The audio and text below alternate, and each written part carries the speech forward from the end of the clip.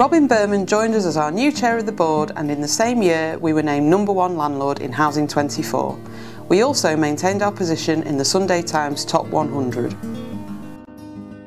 We introduced our new company structure that includes a trading company, 360, development company, Viaduct Partnerships and a charity arm that is currently being developed. Thank you for your help with choosing what our annual report should cover, as well as how it should look.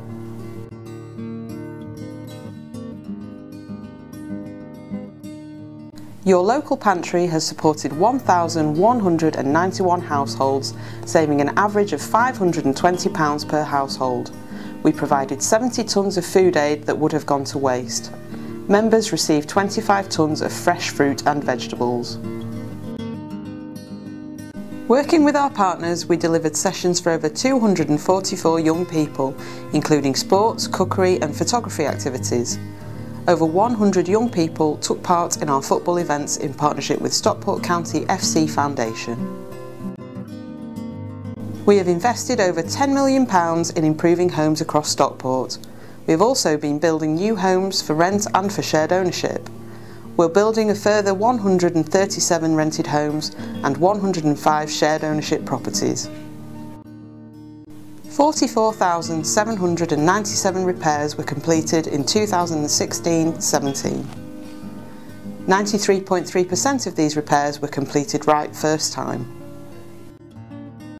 We secured 88 injunctions to stop antisocial behaviour and issued 7 closure orders of properties.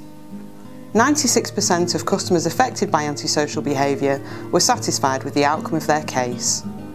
98% of cases were solved in an average of 78 days. We responded to over 160,000 care call calls and supported over 4,000 customers across Stockport. We also completed 1,912 visits to help people following a fall and 1,848 general welfare visits. Working across Greater Manchester, we ensure customers have the best access to services. We continue to work with our partners to provide a better level of service to our customers. Our board welcomed a new chair and two members in 2016-17. They help ensure the work we do and the achievements we make continue to transform lives. We're providing a value for money service and we saved £1.37 million last year.